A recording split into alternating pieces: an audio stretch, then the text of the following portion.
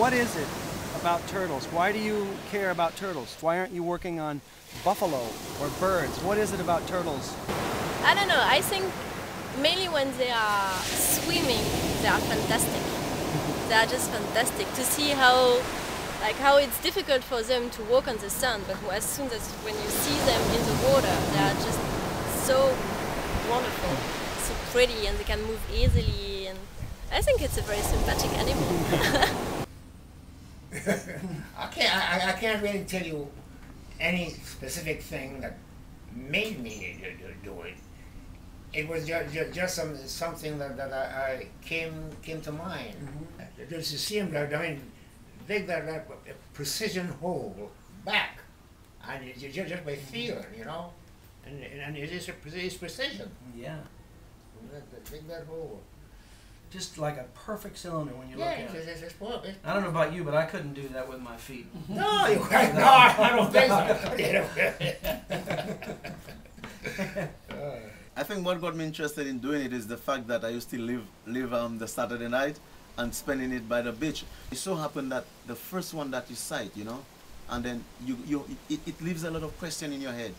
You know, how is something that probably lived her life, all her adult life in the ocean, and then she comes ashore, she has to look for comfortable sand, and then she has to dig the hole so precisely, and then, you know, if she finds water in the hole, she don't, she, she stop digging, she, she moves away, and then all these things. So this is, this is the thing about it, and I, really, I don't know what really get me into, you know, liking to do that so much, but it has to do with probably the first time that I saw it, and then the group that was there, you know, the passionate side that I saw when people you know, checking the, this, this, this creature and then, you know, this is, this is what I gather. C'est intéressant parce que c'est des animaux qui ont presque disparu en Guadeloupe et il y a besoin de les aider à, à venir donc pour qu'elles reviennent plus ici.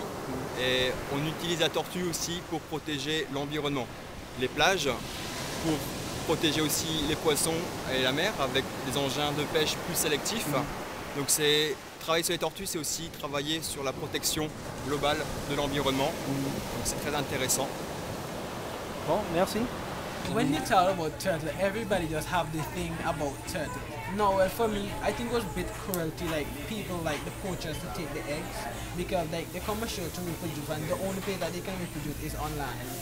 And like it's very much cruel, like you can take the eggs plus the female and like the killer hold five generation per season. Mm -hmm. And it all depends how many female nester they take a year. So the cruelty was what it, bothered you the most. Exactly. Yeah. They are magical in the water. They are graceful they are strong. You see the hawksbill turtle? If you're a diver and you want to catch it, it's fun.